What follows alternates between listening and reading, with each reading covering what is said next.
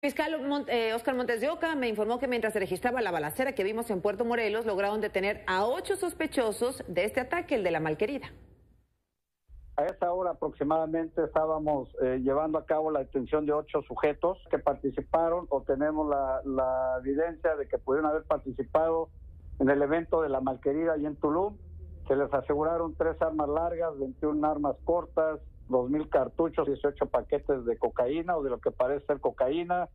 Y lo más importante, el vehículo en el que huyeron y en el que llegaron a la malquerida. Estamos de momento revisando las armas, por supuesto, a ver si son las que participan en ese evento y realizando las entrevistas. Eh, una vez que se concluya, ya podremos definir si son los actores materiales o no. ¿Qué grupo es? Allá se hacen llamar los osos. ¿Es un paraíso de la droga? Quintana Roo? Pues hay una oferta, hay una demanda y eso hace que se, incremente o haya más riesgo eh, de violencia.